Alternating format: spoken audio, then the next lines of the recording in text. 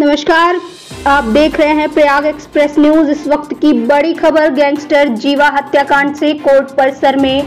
Gangster जीवा हत्याकांड के शूटर विजय यादव का वीडियो हो रहा वायरल। शूटर का कहना है कि नेपाल में असलम ने दी थी 20 लाख की सुपारी। असलम लखनऊ जेल में बंद आतिफ का है भाई, जिसे जीवा ने किया था अपमानित। भाई की बेइज्जती का बदला बताया जा रहा।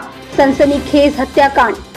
प्रयाग एक्सप्रेस न्यूज़ के लिए crime department head Shivam Nandan Tripathi की रिपोर्ट। उसमें आतिफ कोई आतिफ नाम का लखनऊ जेल में बंद है।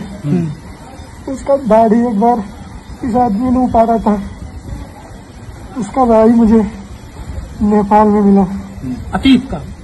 आतिफ के भाई का नाम असलम है। कुत्ता पैजामा पहनता है हल्का दाढ़ी है। उसने मिला उसने बोला मेरे भाई का दाढ़ी पर है। तुम मेरे लिए काम करो, मैं तुम्हें बीस लाख रुपए दूँगा।